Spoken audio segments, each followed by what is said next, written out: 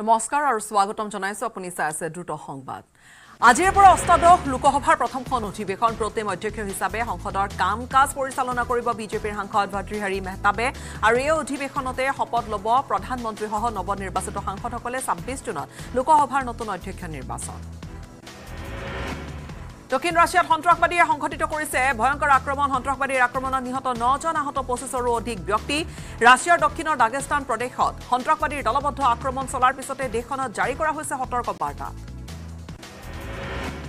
সন্ত্ৰাসবাদীৰ আক্ৰমণত ৰাছিয়াৰ সেনা আৰু আৰক্ষীৰ সাতজনকৈ জোৱান নিহত হৈছে। একাধিক গীৰ্জা আৰু আৰক্ষী তালাচী চকীত আক্ৰমণৰ ঘটনা সন্ত্ৰাসবাদীৰ সংঘবদ্ধ আক্ৰমণত নিহত হৈছে। গীৰ্জাৰ এজন নিৰাপত্তাৰক্ষী আৰু এজন ধৰ্মযাজক ডাৰবেণ্ড আৰু মাখাচাকালা চহৰত আক্ৰমণ হ'ল দেওবাৰে। মহা উপাসীৰ আজি হৈছে তৃতীয়টো দিন। আহ, ভক্তিৰসেৰে ভৰি পৰিছে শক্তিপীঠ কামাখ্যা ধাম। ভক্তৰ যথেষ্ট ভিৰ। মা কামাখ্যা ৰাশিক বিচাৰি পুৱাৰে পৰা নিশালৈকে সোঁত বৈছে দেশী বিদেশী ভক্তৰ। ছাব্বিছ জুনত ভক্তৰ বাবে খোলা হ'ব মন্দিৰৰ দুৱাৰ। দেওবাৰে নিশা আঠ বজাৰ লগে লগে কামাখ্যা ধামলৈ যোৱা পথ প্ৰশাসনে বন্ধ কৰি দিয়াৰ ফলত। অৱশ্যে ভক্তৰ মাজত হাহাকাৰ অৱস্থাৰো সৃষ্টি হয়। কিয়নো হাজাৰ হাজাৰ দৰ্শক সোমাব নোৱাৰিলে কামাখ্যা ধামত যাৰ ফলত পথ বন্ধ কৰি দিয়াৰ পিছতে ভক্তসকলে অসন্তুষ্টিও ব্যক্ত কৰে। আজি ভাগ্য নিৰ্ণয় হ'ব দিল্লীৰ মুখ্যমন্ত্ৰী অৰবিন্দ কেজৰিৱালৰ উচ্চতম ন্যায়ালয়ত। কেজৰিৱালৰ জামিন আবেদনৰ আজি শুনানি দিল্লী উচ্চ ন্যায়ালয়ক প্ৰত্যাহ্বান জনাই সৰ্বোচ্চ ন্যায়ালয়ৰ দ্বাৰস্থ হৈছিল দিল্লীৰ মুখ্যমন্ত্ৰীগৰাকী। বিশ্বকাপৰ ছুপাৰ এইটত আজি ভাৰত বনাম অষ্ট্ৰেলিয়াৰ মাজৰ হাই ভল্টেজ মেচ ভাৰতীয় সময় অনুসৰি নিশা আঠ বজাত ছেমি ৰাষ্ট্ৰীয় ক্ৰিকেট ষ্টেডিয়ামত এই মেচখন আছে। ছেমি ফাইনেলত প্ৰৱেশৰ বাবে দুয়োটা শক্তিশালী দলৰ আজি যুঁজ। নিট নেট পৰীক্ষাৰ কেলেংকাৰীৰ তদন্তৰ দায়িত্ব গ্ৰহণ চি বি আইৰ তদন্তৰ বাবে চি বি আই গঠন কৰিলে বিশেষ অনুসন্ধানকাৰী দল। ইতিমধ্যে পাটনা আৰু গোধৰালৈ ৰাওনা। চি বি আইৰ তদন্তকাৰী দুটাকৈ দল। পাটনা আৰু গোধৰাত ৰুজু হৈছে প্ৰশ্নকাকত ফাদিলৰ গোচৰ। ইফালে নাৱাৰাত চি বি আইৰ তদন্তকাৰী দলৰ ওপৰত আক্ৰমণৰ চেষ্টা কৰিলে একাংশ লোকে ৰাজাউলি এলেকাত সংঘটিত হৈছে আক্ৰমণৰ এই ঘটনা। অন কেমেৰা ভয়ংকৰ বিস্ফোৰণ। বিধ্বংসী জুইৰ মাজতে বিস্ফোৰিত হ'ল দুটাকৈ গেছ চিলিণ্ডাৰ। ভৈৰৱকুণ্ডৰ বালিমুখ বজাৰত সংঘটিত হৈছে অগ্নিকাণ্ড। ভস্মীভূত দুখনকৈ ৰেষ্টুৰাঁ হতাহত হোৱা নাই সৌভাগ্যক্ৰমে কোনো লোক। কালি লখিমপুৰ থানাত এছ পি অপৰ্ণা নটৰাজন উপস্থিত হ'ল আৰু সুনীল গগৈৰ পত্নী পুত্ৰক লখিমপুৰ আৰক্ষী অধীক্ষকগৰাকীৰ জেৰা। যোৱা পাঁচদিন ধৰি ঢকুৱাখানা আৰক্ষীয়ে মাৰাথন জেৰা চলোৱাৰ পিছত সন্ধিয়া থানালৈ আহি জেৰা কৰিলে। স্বয়ং আৰক্ষী অধীক্ষক অপৰ্ণা নটৰাজনে। জাহাংগীৰৰ ৰহস্যজনক হত্যাকাণ্ড আৰু সুনীল গগৈৰ নিৰুদ্দেশ সন্দৰ্ভত সুনীল গগৈৰ পত্নী আৰু পুত্ৰক জেৰা কৰিলে আৰক্ষী অধীক্ষকগৰাকীয়ে চাৰি ঘণ্টা ধৰি আৰক্ষী অধীক্ষকগৰাকীয়ে সোধা পোছা কৰিলে। বিশেষকৈ পুত্ৰক জেৰাৰ পিছতে স্বাস্থ্য পৰীক্ষা কৰোৱা হয় দুয়োগে লাওখোৱা এনকাউণ্টাৰৰ দণ্ডাধীশ পৰ্যায়ৰ তদন্ত ঘোষণা কৰা হৈছে। নগাঁৱৰ অতিৰিক্ত জিলা দণ্ডাধীশৰ দ্বাৰা তদন্তৰ নিৰ্দেশনা এ চি এছ বিষয়া সুদীপ নাথে কৰিব। লাওখোৱা এনকাউণ্টাৰৰ তদন্ত দহ দিনৰ ভিতৰত তদন্তৰ প্ৰতিবেদন দাখিলৰ নিৰ্দেশনা। ছত্তীশগড়ত মাওবাদীৰ ভয়ংকৰ আক্ৰমণ। মাওবাদীৰ আক্ৰমণত শ্বহীদ দুগৰাকী চি আৰ পি এফ জোৱান আই ডি বিস্ফোৰণৰ জৰিয়তে উৰুৱালে চি আৰ পি এফ জোৱানৰ ট্ৰাক। চি আৰ পি এফৰ কোব্ৰা বাহিনীৰ পেট্ৰলিঙৰ সময়তে সংঘটিত হৈছে এম্বুছ আক্ৰমণত চি বি আইৰ দলটোৰ কোনো লোক গুৰুতৰভাৱে আহত হোৱা নাই যিহেতু চি বি আইৰ দলে বৰ্তমান নীট আৰু নেট পৰীক্ষাৰ তদন্ত অব্যাহত ৰাখিছে। তদন্তৰ মাজতে হৈছিল আক্ৰমণৰ ঘটনা। আক্ৰমণকাৰীৰ বিৰুদ্ধে স্থানীয় থানাত ৰুজু কৰা হৈছে গোচৰ। উল্লেখযোগ্য যে দেশজুৰি হোৱা প্ৰতিবাদৰ পিছতে চৰকাৰে নীট আৰু নেট কেলেংকাৰী চি বি আইৰ তদন্ত ঘোষণা কৰিছে। নীটৰ প্ৰশ্নকাকত ফাদিলৰ মাষ্টাৰ মাইণ্ড ৰবি অত্ৰীক গ্ৰেপ্তাৰ কৰিলে। বিহাৰ আৰক্ষীৰ বিত্তীয় অপৰাধ গোটৰ তথ্যৰ ভিত্তিত গ্ৰেপ্তাৰ হোৱা ৰবি অত্ৰীৰ আছে। প্ৰশ্নকাকত ফাদিলৰ বহুকলীয়া অধ্যায় পি এম টি আৰু এইমছ পি জি পৰীক্ষাৰ সময়ছোৱাতো প্ৰশ্নকাকত ফাদিলৰ আঁৰত আছিল ৰবি অত্ৰী। অৰুণাচল প্ৰদেশত ডাৱৰ বিস্ফোৰণৰ ফলত ভয়ংকৰ পৰিস্থিতিৰ সূত্ৰপাত হৈছে অৰুণাচল প্ৰদেশৰ কেইবা ঠাইতো ডাৱৰ বিস্ফোৰণ হৈছে যাৰ ফলত কৃত্ৰিম বানপানী পাহাৰৰ পৰা নামি অহা পানীৰ ঢলে উটুৱাই নিছে বাট পথ বিস্তৰ ক্ষয়ক্ষতি হৈছে বিভিন্ন ঠাইত। গোৱালপাৰাৰ টুকুৰাত নিশা শোকাবহ পথ দুৰ্ঘটনা। টুকুৰাৰ সোতৰ নম্বৰ ৰাষ্ট্ৰীয় ঘাইপথত সংঘটিত পথ দুৰ্ঘটনা। এই দুৰ্ঘটনাত থিতাতে মৃত্যুক সাৱটিলে এগৰাকী যুৱকে। মৃত যুৱকজনৰ পৰিচয় লাভ নকৰা এই মুহূৰ্তলৈকে লাভ কৰা হোৱা নাই। পালচাৰ বাইক আৰু দহচকীয়া ট্ৰাকৰ মাজত হৈছিল সংঘৰ্ষ। ভয়ংকৰ দুৰ্ঘটনা। নিশা কলিয়াবৰৰ শিলঘাটতো ভয়ংকৰ পথ দুৰ্ঘটনা। নিয়ন্ত্ৰণ হেৰুৱাই পথৰ কাষৰ হাবিত সোমালগৈ বাইক আৰোহী গুৰুতৰভাৱে আহত তিনি বাইক আৰোহী আহত তিনিওকে নিশাই প্ৰেৰণ কৰা হয়। জখলা বন্ধা স্থিত কলিয়াবৰ মহকুমা অসামৰিক চিকিৎসালয়লৈ আৰু ইয়াৰে দুজনৰ অৱস্থা সংকটজনক বুলি জানিব পৰা গৈছে। মৰাণৰ সমীপৰ খুমটাই আলিমুৰা চেঁচা পুখুৰীত গেছ নিৰ্গত হৈছে বিগত প্ৰায় এমাহ ধৰি নিৰ্গত হৈ আছে গেছ। অসম গেছ কোম্পানীৰ পাইপৰ পৰা গেছ নিৰ্গত হৈ আছে। বিনীত ৰজনী কটাবলগীয়া হৈছে। গাঁওবাসীয়ে গাঁওবাসীৰ গেছ নিৰ্গমনৰ এই গোটেই কথাখিনি তেওঁলোকে নিৰ্গমন বন্ধ কৰিবলৈ দাবী জনাইছে অসম গেছ কোম্পানীক ভেকু ভাওনা যেন পৰিণত হৈছে মুখ্যমন্ত্ৰীয়ে গঠন কৰি দিয়া টাস্ক ফ'ৰ্চ অত্যাৱশ্যকীয় সামগ্ৰীৰ লগতে পাচলি বজাৰৰ বৰ্ধিত দাম ৰোধৰ বাবে জিলাই জিলাই টাস্ক ফ'ৰ্চ গঠন কৰাৰ কথা কৈছিলে মুখ্যমন্ত্ৰীগৰাকীয়ে কিন্তু আজিলৈকে এই টাস্ক ফ'ৰ্চ গঠন হ'ল নে নাই সেয়া এতিয়ালৈকে স্পষ্ট নহয়। আজিলৈকে শাক পাচলিৰ বজাৰৰ লগতে আনকি দোকানতো দেখিবলৈ পোৱা নগ'ল টাস্ক ফ'ৰ্চ যাৰ ফলত অসাধু ব্যৱসায়ীয়ে নিজৰ ইচ্ছামতে বঢ়াই গৈছে সামগ্ৰীৰ দাম।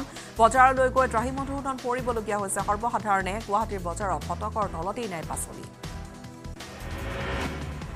আনকি চাউল দাইলকে ধৰি নিত্য ব্যৱহাৰ্য সামগ্ৰীৰ অত্যাধিক মূল্য বৃদ্ধিত সৰ্বহাৰা হৈছে সাধাৰণ জনতা। এই ক্ষেত্ৰত কাণ সাৰ নাই চৰকাৰ বা প্ৰশাসনৰ কিংবা বিভাগীয় কৰ্তৃপক্ষৰ ইয়াৰ উপৰি নিত্য ব্যৱহাৰ্য সামগ্ৰীৰ আকাশলংঘী মূল্য বৃদ্ধিয়ে জুৰুলা কৰিছে সৰ্বসাধাৰণ ৰাইজক। বগোৰ লামপাৰাত আৰক্ষীৰ এনকাউণ্টাৰ দেওবাৰে নিশা দুধৰ্ষ ডকাইত এটালৈ আৰক্ষীয়ে গুলী চালনা কৰিলে ভৰিত গুলী লাগি আহত হৈছে দুধৰ্ষ ডকাইত। কেনাৰাম বসুমতাৰী ওৰফে মোটে আৰু আৰক্ষীৰ জিম্মাৰ পৰা পলায়নৰ চেষ্টা কৰাৰ সময়তে আৰক্ষীয়ে গুলীচালনা কৰিবলৈ বাধ্য হয়। গুলীবিদ্ধ Kenaram Basumatary G M C এইচত ভৰ্তি কৰোৱা হৈছে। উল্লেখযোগ্য যে শুকুৰবাৰে নিশা এ টি এম চোৰৰ চক্ৰ এটাক উৎখাত কৰিছিলে গ্ৰেপ্তাৰ কৰিছিল কামৰূপ আৰক্ষীয়ে। কেনাৰামক লৈ আৰক্ষীয়ে তদন্ত চলাইছিল। তেতিয়াই পলায়নৰ চেষ্টা কৰিছিল দুধৰ্ষ ডকাইত কেনাৰাম বসুমতাৰীয়ে। গুৱাহাটীৰ একজোৰ বাৰত ভয়ংকৰ ঘটনা। বাৰ কৰ্তৃপক্ষই গুৰুলা গুৰুলকৈ প্ৰহাৰ কৰিলে এগৰাকী মহিলাক। শনিবাৰে নিশা প্ৰায় চাৰে বাৰ বজাত সংঘটিত হৈছিলে এই ঘটনা। ৰবি নামৰ এজন বাউন্সাৰৰ নেতৃত্বত দহ বাৰজনীয়া দল এটা আক্ৰমণ কৰাৰ অভিযোগ আনিলে মহিলাগৰাকীয়ে। জন্মদিনৰ এটা অনুষ্ঠানত ভাগ ল'বলৈ গৈছিল মহিলাগৰাকী। ৰবি নামৰ বাউন্সাৰজনে প্ৰথমে ভিতৰৰ কোঠালৈ মাতি নিয়াৰ অভিযোগ আনিলে মহিলাগৰাকী আৰু তাৰ পিছতে বিনা কাৰণত প্ৰহাৰ কৰাৰ অভিযোগ মহিলাগৰাকীয়ে উত্থাপন কৰিছে আৰু এই ঘটনাত নিশাই ভঙাগড় থানাত গোচৰ দিবলৈ গৈছিল মহিলাগৰাকী। অৱশ্যে ভঙাগড় থানাই গোচৰ লোৱাৰ পৰিৱৰ্তে ভুক্তভোগী মহিলাগৰাকীক লাঠিৰে প্ৰহাৰ কৰি উলিয়াই দিয়াৰ অভিযোগো আনিছে। অৱশেষত পাণবজাৰ মহিলা থানাত গোচৰ ৰুজু কৰিছে মহিলাগৰাকীয়ে। অৱশেষত শুৱালকুছি আৰক্ষীৰ জালত পৰিছে বহিৰাজ্যৰ দুই দুধৰ্ষ সোণ চোৰ। ৰাজ্যৰ প্ৰান্তে প্ৰান্তে জুৱেলাৰী দোকানত চুৰিকাণ্ড সংঘটিত কৰি অসম আৰক্ষীৰ মূৰৰ কামোৰণি হৈ পৰিছিল। ধৃত সোণ চোৰ দুটা। দুমাহ পূৰ্বে তিনিচুকীয়া আৰু তাৰ পিছত কামৰূপ জিলাৰ বিভিন্ন প্ৰান্তত থকা জুৱেলাৰী দোকানত হাত চাফাই কৰি নিৰ্বিঘ্নে ঘূৰি ফুৰিছিল মধ্যপ্ৰদেশ ভূপালৰ দুই চোৰ হাফিজ আলী আৰু সাগৰ মিশ্ৰই ওঠৰজনত সোণ ক্ৰয় কৰাৰ চলেৰে শুৱালকুছি বজাৰস্থিত যতীন চন্দ্ৰ জুৱেলাৰ্ছখনত চুৰিকাণ্ড সংঘটিত কৰিছিল এই দুয়োটাই। শিলচৰত অপহৰণকাৰীলৈ আৰক্ষীৰ গুলী আৰক্ষীৰ এনকাউণ্টাৰত আহত মান্নান আহমেদ আৰু আৰক্ষীক প্ৰহাৰ কৰি পলায়নৰ চেষ্টা কৰিছিল। মান্নানে অপৰাধী মান্নানৰ আক্ৰমণত আহত হৈছে এগৰাকী কনিষ্টবল আহত কনিষ্টবলজন জেচিমুদ্দিন লস্কৰ গুলীবিদ্ধ অপৰাধী আৰু আহত কনিষ্টবলজনক হাস্পতালত ভৰ্তি। অপহৰণৰ পিছত চোকা অস্ত্ৰৰে হানিখুচি হত্যাৰ চেষ্টা কৰিছিলে এজন যুৱকক। নৈৰ পাৰত অপহৰণকাৰীয়ে পেলাই থৈ অহা যুৱকজনক তেজেৰে তুমুৰলি অৱস্থাত উদ্ধাৰ কৰিছিলে মাছমৰীয়াই। নিশা হাজোৰ দামপুৰত সংঘটিত হৈছিলে চাঞ্চল্যকৰ অপহৰণ কাণ্ড। আলকাছ আলী নামৰ এজন যুৱকক ৰাজপথৰ পৰা অপহৰণ কৰি নি হানিখুচি হত্যাৰ চেষ্টা কৰিলে আঠজনীয়া এটা দুৰ্বৃত্তৰ দলে। ভিনীহেকৰ সৈতে ৰাজপথেৰে বাইকত আহি থকা অৱস্থাত পূৰ্বৰে পৰা খাপ পিটি থকা দুৰ্বৃত্তৰ দলটোৱে আগ ভেটি ধৰি সংঘটিত কৰিছিলে অপহৰণ কাণ্ড। ৰাজপথত আলকাছ আলী আৰু ভিনিহেকক প্ৰথমে বাইকৰ পৰা নমাই আনিছিলে তাৰ পিছত উপৰ্যুপৰি প্ৰহাৰ আঠজনীয়া দুৰ্বৃত্তৰ দলটোৰ তাৰ পিছতে ঘটনাস্থলীৰ পৰা আলকাছক ধৰি বান্ধি লৈ উধাও হয় দুৰ্বৃত্ত কেইটা আৰু এই ভয়ংকৰ কাণ্ডৰ বিষয়ে অৱগত হোৱা যুৱকজনৰ পৰিয়ালত হাহাকাৰ লাগে লগে লগে খবৰ কৰা হ'ল আৰক্ষীক। হাৰ্ডিয়া অঞ্চলৰ নৈৰ পাৰৰ খেতিপথাৰৰ ৰক্তাক্ত অৱস্থাত উদ্ধাৰ কৰা হৈছে আলকাছ আলীক। নিশা মাছলৈ যোৱা মাছমৰীয়াৰ দলটোৱে খেতিৰ মাজত অতি সংকটজনক অৱস্থাত উদ্ধাৰ কৰিছিলে বিছ বছৰীয়া যুৱকজনক। গুৰুতৰভাৱে আঘাতপ্ৰাপ্ত যুৱকজনক জি এম চি এইচত ভৰ্তি। বশিষ্ঠ আৰক্ষীৰ ঘোঁৰামাৰা শিৱম পথত ড্ৰাগছ বিৰোধী অভিযান চলিল। দেওবাৰে নিশা চলা অভিযানত জব্দ কৰা হৈছে চাৰি পেকেট ড্ৰাগছ ভৰ্তি চাবোনৰ কেছ আৰু ড্ৰাগছ ভৰ্তি কণ্টেইনাৰসহ নগদ দহ হাজাৰ টকাও আৰক্ষীয়ে উদ্ধাৰ কৰিছে। অভিযান কালত এখন স্কুটিৰ লগতে চাৰি ড্ৰাগছ সৰবৰাহকাৰী গ্ৰেপ্তাৰ। ধৃত আয়তাইৰে খৰ হৈছে বৰপেটা ডিব্ৰুগড়ত আৰক্ষীৰ জালত পৰিছে। ড্ৰাগছ সৰবৰাহকাৰী চহৰখনৰ কালিবাৰীত গোপন সূত্ৰৰ ভিত্তিত আৰক্ষীয়ে অভিযান চলাই প্ৰায় চাৰে পোন্ধৰশ চাৰে পোন্ধৰ গ্ৰাম ড্ৰাগছ জব্দ কৰিছে। আজাদ আনচাৰী নামৰ লোকজনক ঘুমটি দোকানৰ পৰা নিৰান্নব্বৈটা কণ্টেইনাৰত এই প্ৰায় পোন্ধৰ গ্ৰাম ড্ৰাগছ উদ্ধাৰ কৰিছে আৰক্ষীয়ে। কৰ্মৰ সন্ধানত বহিৰাজ্যলৈ গৈ ৰেল ষ্টেচনৰ পৰা সন্ধানহীন হৈছে গহপুৰৰ বাগৰ পথাৰৰ এজন যুৱক। যাদৱ দাস নামৰ যুৱকজন একে গাঁৱৰে কেইজনমান যুৱকৰ সৈতে মিলি বেংগালুৰুলৈ গৈছিল। সোতৰ জুনত বিশাখাপট্টনমৰ ষ্টেচনত ৰেলৰ পৰা অকণমান সময়ৰ বাবে নামিছিল আৰু তাৰ পিছতে সন্ধানহীন হৈ পৰিল যাদৱ দাস। দেওবাৰে হোজাই চিকাৰী গেটৰ সমীপত উদ্ধাৰ কৰা হৈছে এটা অচিনাক্ত মৃতদেহ। মৃত লোকজন যাত্ৰীবাহী ৰেলৰ পৰা পৰি তেওঁৰ মৃত্যু ঘটাৰ সন্দেহ কৰিছে। ৰেল আৰক্ষীয়ে ইপিনে নিহত লোকজনৰ এতিয়া পৰিচয় উদ্ধাৰ হোৱা নাই। ঘটনাস্থলীত হোজাই ৰেল আৰক্ষী উপস্থিত হৈ মৃতদেহ উদ্ধাৰ কৰি আৰম্ভ কৰিছে তদন্ত। নগাঁৱৰ এছ পি আৰু ডি এছ পিৰ নাম লৈ ব্লেকমেইলিং হৈছে। অনলাইন যোগে উপহাৰ কুপন বিক্ৰী কৰা তেত্ৰিশজন যুৱকক আৰক্ষীৰ নাম লৈ ভাবুকি কচুৱাৰ দুই দালালৰ আৰক্ষীৰ নামত লিখিত কাগজ উলিয়াই অবৈধভাৱে ধন ঘটাৰো চেষ্টা কৰিলে দুই দালালে। চাংখোলাৰ আব্দুল মতলিফ ওৰফে চাইনিজ আৰু জয়নাল ওৰফে কানাৰ বিৰুদ্ধে ভাবুকিৰে তেত্ৰিশজন যুৱকৰ পৰা ধন দাবী কৰাৰ অভিযোগ উত্থাপন হৈছে। উল্লেখযোগ্য যে শিক্ষা জীৱন সাং কৰি চাকৰি নোপোৱাত অনলাইন যোগে উপহাৰ কুপন বিক্ৰী কৰা যুৱক কেইজনক দুই দালালে নগাঁৱৰ আৰক্ষীৰ নামত নাম লৈ পোন্ধৰৰ পৰা বিছ হাজাৰ টকা পঞ্চাছ হাজাৰ টকা পৰ্যন্ত লোৱাৰ অভিযোগ উঠিছে। পাছত উপায়ন্তৰ হৈ তেত্ৰিশগৰাকী যুৱকে ধৃত দুই দালালৰ বিৰুদ্ধে কচুৱা আৰক্ষী থানাত এজাহাৰ দাখিল কৰিছে। থানাত এজাহাৰ দাখিল কৰাৰ পিছতে বৰ্তমান পলাতক হৈ আছে জয়নাল আৰু আব্দুল মাতলিফ।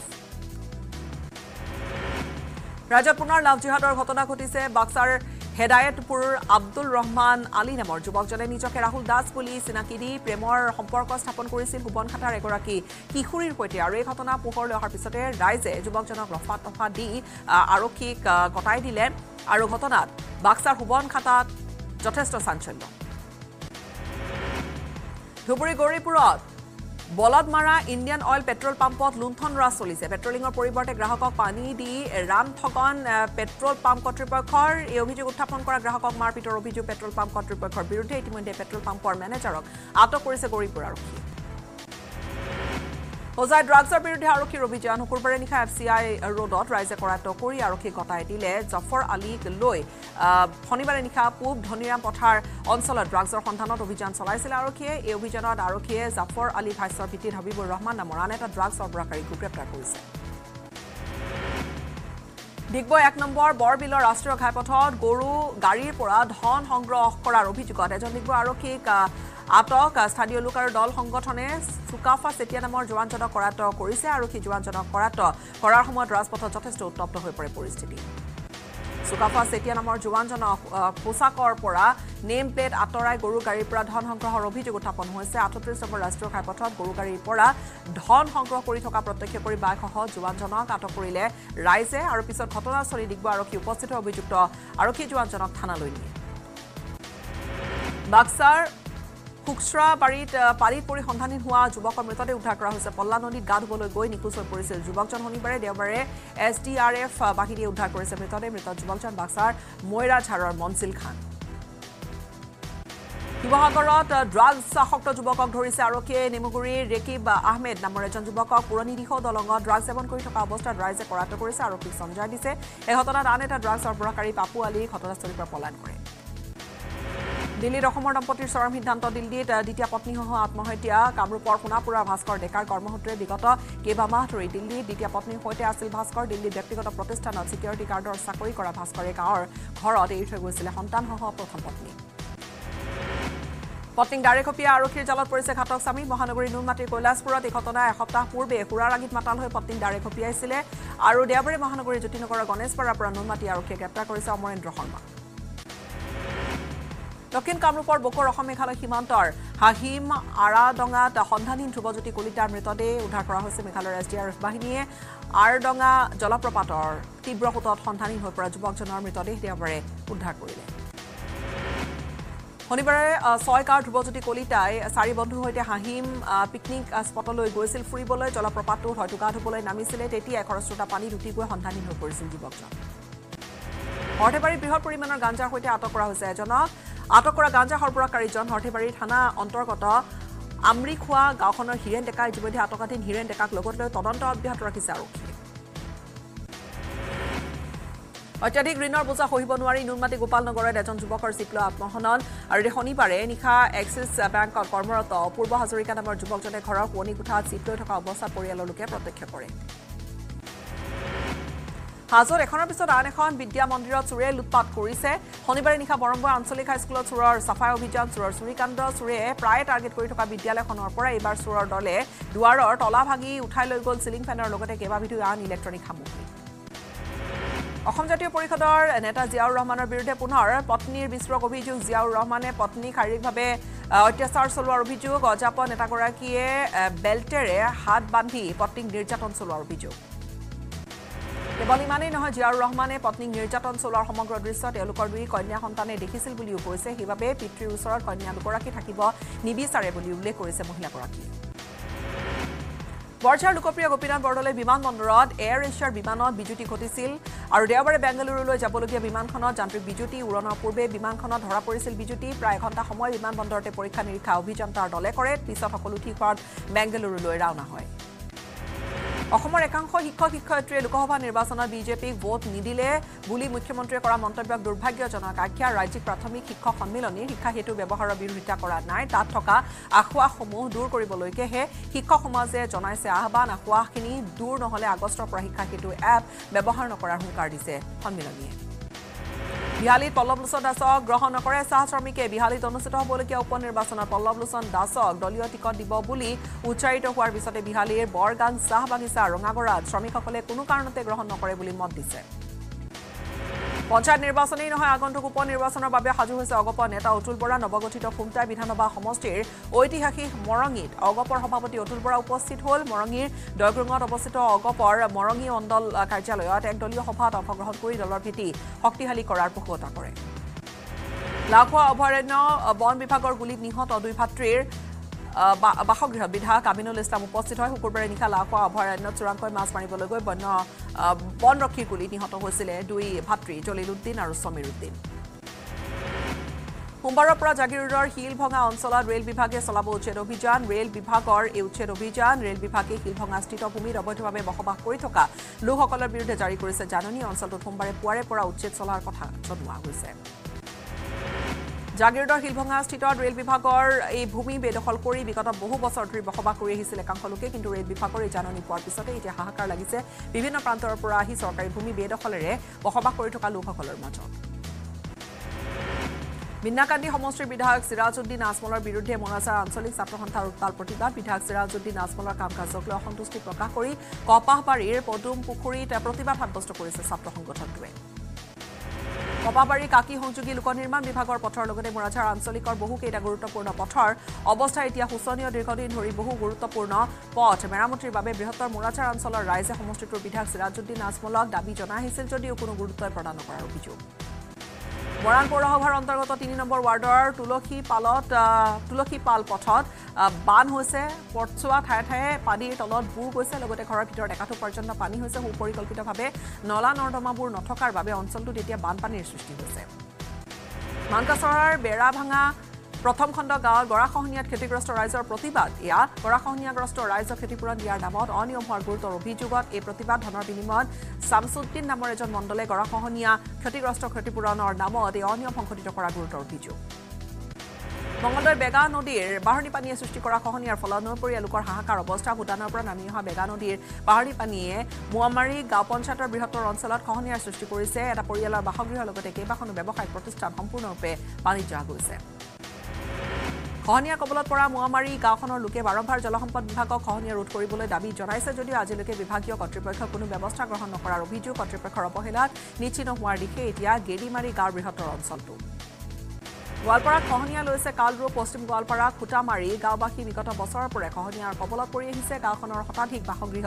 জাহ গৈছে নৈ বুকুত ইপিনে খহনীয়াগ্ৰস্ত ৰাইজে চৰকাৰ প্ৰশাসনক বাৰম্বাৰ খহনীয়া সমস্যা সমাধানৰ বাবে কাকতি মিনতি কৰি অহাৰ পিছতো কোনো সুফল পোৱা নাই। দেওবাৰে খুটমাৰী অঞ্চলত খহনীয়াৰ বুজ ল'বলৈ উপস্থিত হয়। পূব গোৱালপাৰা সমষ্টিৰ বিধায়ক এ কে ৰছিদ আলম জলসম্পদ বিভাগৰ কাৰ্যবাহী অভিযন্তাক লগত লৈ নাৱৰে খত- খহনীয়াগ্ৰস্ত অঞ্চলত পৰিদৰ্শন কৰিলে বিধায়কগৰাকীয়ে বিভিন্ন ঠাই অঞ্চলটো পৰিদৰ্শন কৰি অতি শীঘ্ৰে খহনীয়া সমস্যা সমাধান হ'ব বুলি আশ্বাস দিছে। যোৰহাট জিলাৰ জাজিমুখত বৰলুইতৰ খহনীয়া লৈছে কাল ৰূপ।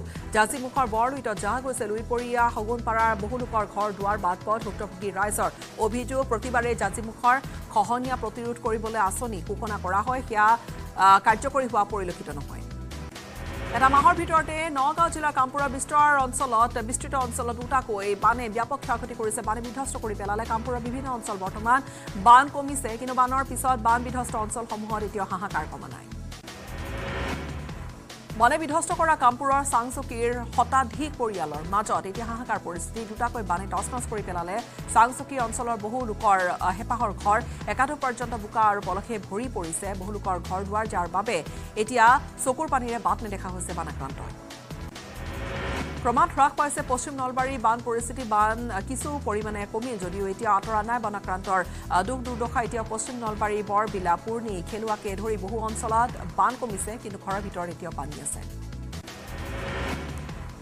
আনহাতে বানপীড়িত অঞ্চলসমূহত নলবাৰী জিলা প্ৰশাসনে কোনো ব্যৱস্থা নোলোৱাৰ অভিযোগ। বছৰৰ প্ৰথমটো বানৰ কবলত পৰা নলবাৰী জিলাৰ পশ্চিম নলবাৰীত বিস্তৰ ক্ষয় ক্ষতি হৈছে। বুঢ়াদিয়া নৈৰ মথাউৰি ভাগি যোৱাৰ ফলত প্লাৱিত হৈছে বহু অঞ্চল। গহপুৰৰ হাৱাজানত এটি শিশুৰ কৰুণ মৃত্যু উপযুক্ত চিকিৎসাৰ অভাৱত শিশুটিৰ মৃত্যু ঘটাৰ গুৰুতৰ অভিযোগ আনিলে পৰিয়ালবৰ্গই। তিনি বছৰীয়া কণমানিটিক কলাবাৰী আদৰ্শ চিকিৎসালয়লৈ নিয়া হৈছিল যদিও শিশুটিক উপযুক্ত চিকিৎসা প্ৰদান নকৰাৰ ফলতে মৃত্যু ঘটাৰ অভিযোগ পৰিয়ালৰ। শিৱসাগৰত পোন্ধৰটা জাতীয় জনগোষ্ঠীয় সংগঠনে সাব্যস্ত কৰিব প্ৰতিবাদ পোন্ধৰ আৰু কিবা কৰিব পঁচিছ আৰু ছাব্বিছ জুনত এন অ' এন জি চিৰ বিৰুদ্ধে কেইবাটাও দাবী তুলি জাতীয় জনগোষ্ঠীয় সংগঠনকেইটাই সাব্যস্ত কৰিব প্ৰতিবাদ। চৰকাৰী মেয়াৰ প্ৰেছত ধ্বংসৰ গৰাহলৈ যেন কোটি টকীয়া সম্পত্তি পুনৰ পৰিত্যক্ত হোৱাৰ দিশে ৰূপচী বিমান বন্দৰ ঊনচল্লিছ বছৰৰ পিছত পুনৰ যাত্ৰীবাহী বিমান পৰিষেৱা আৰম্ভ হোৱা ৰূপচী বিমান বন্দৰত বিগত দুশটা দিনে চলাচল কৰাই নাই কোনো বিমানে। ইপিনে এলায়েন্স এয়াৰে যোৱা বাইছ জুনৰ পৰা ৰূপচী কলকাতাৰ মাজত বিমান চলাচল কৰিব বুলি আনুষ্ঠানিকভাৱে প্ৰচাৰ কৰিছিল ঠিকেই কিন্তু যোৱা শনিবাৰে বাইছ জুনত টিকট কাটি বিমান পৰিষেৱা নোপোৱাৰ ফলত জাঙুৰ খাই উঠিছে একাংশ যাত্ৰী। এলায়েন্স এয়াৰ সংস্থাটোৰ গ্ৰাউণ্ড ষ্টাফ বৰ্তমানলৈকে আহি নোপোৱাত বিমান চলাচলৰ সম্ভাৱনা নাই বুলি সদৰি কৰিছে এয়াৰপৰ্ট কৰ্তৃপক্ষই। তেনে ক্ষেত্ৰত এলায়েন্স এয়াৰৰ গ্ৰাউণ্ড ষ্টাফ কেতিয়ালৈকে আহিব সেই বিষয়ত কোনো তথ্যও এয়াৰপৰ্ট কৰ্তৃপক্ষৰ হাতত নাই।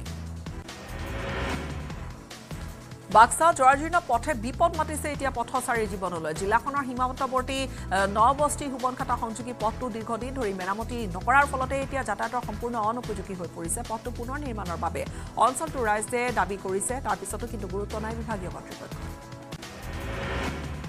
ৰাজ্যৰ বিভিন্ন প্ৰান্তত বন্ধ হৈ থকা পৰিবহণ নিগমৰ বাছ আস্থানসমূহ পুনৰ উজ্জীৱিতকৰণৰ বাবে পদক্ষেপ লৈছে। ইতিমধ্যে বন্ধ হৈ থকা এছ ডি চি বাছ আস্থানসমূহক লৈ ছাৰ্ভে আৰম্ভ কৰিছে বিভাগটোৱে। কলিয়াবৰতো বছৰ বছৰ ধৰি বন্ধ হৈ আছে। তিনিটাকৈ এ এছ টি চিৰ বাছ আস্থান শিলঘাট কলিয়াবৰ তিনিআলি আৰু কোঠৰী এই তিনিটা বাছ আস্থানৰ অৱস্থা একেবাৰে জৰাজীৰ্ণ আৰু এই বাছ আস্থানসমূহৰ পুনৰ উজ্জীৱিতকৰণৰ গোটেই প্ৰক্ৰিয়া বাছ চলাচলৰ ব্যৱস্থা কৰিবলৈ বুলি মন্তব্য কৰিছে পৰিবহণ মন্ত্ৰী কেশৱ মহন্তই মহানগৰীৰ পদপথসমূহত ভৰি পৰিছে খাদ্যৰ দোকানেৰে। লগতে পদপথত আছে আন বহু সামগ্ৰীৰ দোকানো। সন্ধিয়াৰ সময়ত গ্ৰাহকৰ ভিৰৰ বাবে অসুবিধা হয় পদপথৰ ব্যৱহাৰকাৰীসকলৰ। কোনো অনুজ্ঞাপত্ৰ অবিহনে খোলা হৈছে এইসমূহ পদপথৰ দোকান। ভৈৰৱকুণ্ড বালিমুহ বজাৰৰ বিধ্বংসী অগ্নিকাণ্ড ভয়াৱহ অগ্নিকাণ্ড দুখনকৈ ৰেষ্টুৰেণ্টত চিলিণ্ডাৰ বিস্ফোৰণৰ ফলতে অগ্নিকাণ্ডৰ সূত্ৰপাত ঘটে সম্পূৰ্ণ জাহ গৈছে দোকান শুকুৰবাৰে কাজিৰঙাৰ বাগৰিত অঞ্চলত সংঘটিত হয় এটা পথ দুৰ্ঘটনা। প্ৰাণ হেৰুওৱা কাজিৰঙা ৰাষ্ট্ৰীয় উদ্যানৰ বয়োজ্যেষ্ঠ বনকৰ্মী মুকুল গগৈৰ স্বীকৃত সম্পন্ন সতীৰ্থক হেৰুৱাই শোকত ভাগি পৰিছে ৰাষ্ট্ৰীয় উদ্যানখনৰ বনকৰ্মীসকল। বাক্সাৰ ভাৰত ভূটান সীমান্তৱৰ্তী অঞ্চলত উদ্ধাৰ কৰা এটা মৃত হাতী ভূটানৰ পৰা বৈ অহা দিৰিং নদীত উদ্ধাৰ হৈছিল মৃত হাতী পোৱালিটো। জিলাখনৰ সুমনখাটা সংৰক্ষিত বনাঞ্চলৰ অন্তৰ্গত আমবাৰী দেওবাৰে পুৱা প্ৰত্যক্ষ কৰিছিলে মৃত অৱস্থাত হাতী পোৱালিটো। সোণাপুৰৰ চকুৰিপাৰাত বন্যহস্তীৰ উপদ্ৰৱ চলাইছে। নিশা পাহাৰৰ পৰা নামি অহা দুটাকৈ বানৰীয়া হাতীয়ে উপদ্ৰৱ চলালে অঞ্চলটোত। চকুৰিপাৰা অঞ্চলটোৰ চুৰেন ফাংছো নামৰ লোকগৰাকীৰ গৃহ। দুটা বন্যহস্তীয়ে উপদ্ৰৱ চলাই লণ্ডভণ্ড কৰিলে। ঘৰ খাদ্যশীলন কৰিছে ভঁৰালৰ ধান লগতে বিনষ্ট কৰিছে সা সামগ্ৰী। মহানগৰী খানামুখস্থিত সন্ত নিৰাংকাৰী মিছনত ৰক্তদান শিবিৰৰ আয়োজন।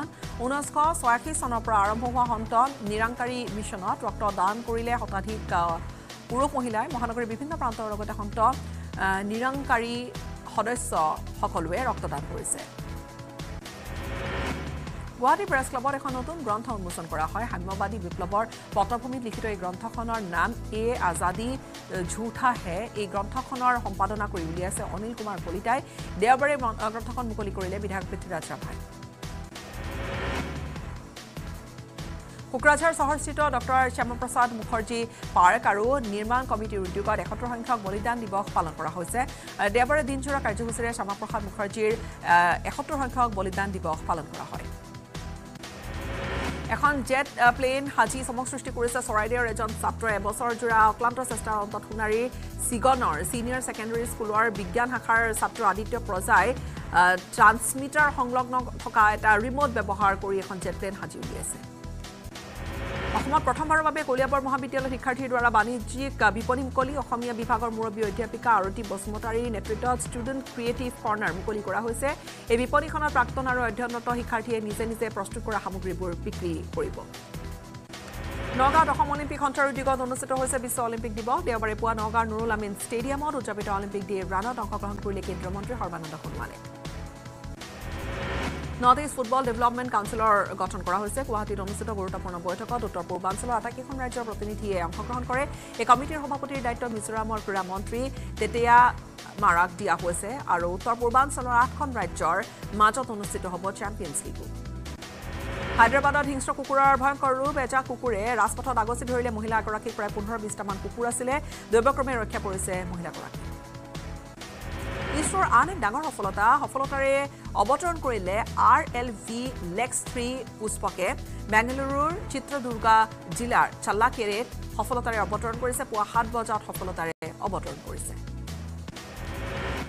ইয়াৰ সৈতে বিদায় ল'ম। নমস্কাৰ। মাইথান ষ্টীল নহয়। অ ওচৰ চুবুৰীয়াসকলে লগাইছে। ষ্ট্ৰং মানে? মাইথেন ষ্টীল